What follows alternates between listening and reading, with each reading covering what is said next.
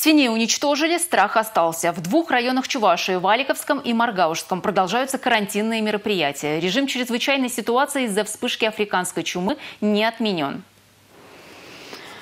Напомню, на прошлой неделе в лесу у деревни Нижние Панклеи Маргаушского района охотник застрелил кабана, зараженного АЧС. В итоге в опасную зону попали 15 деревень. Началась работа по уничтожению поголовья в сельхозпредприятиях и у населения. Новых э, случаев пока, слава богу, не выявлено. То, что связано, все мероприятия, первичные мероприятия все проведены.